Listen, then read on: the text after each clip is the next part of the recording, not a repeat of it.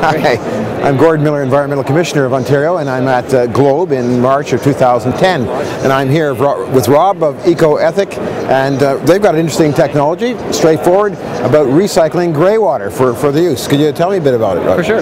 This is a latest technology for uh, grey water reuse from Australia, originally designed there. Uh, and it filters all the organic out of the grey water, enabling it to be nice and clean for reuse.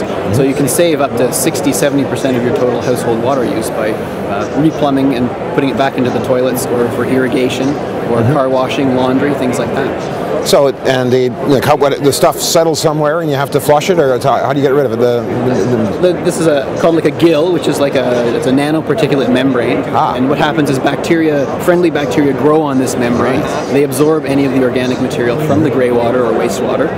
After the biomass becomes three or four days old, the bacteria slough off, or the biomass sloughs off, and it falls into the clarifier tank below. Yes. And that is actually a valuable nutrient that you can then use for gardening or, or uh, putting in your plants and so on and so forth. So pretty straightforward, really. Very straightforward. And tremendous water savings. And very, very low energy consumption. And water is energy, really. Water is energy. That's good. Well, thank you very much for that. That's great. Welcome. Thanks, Gordon.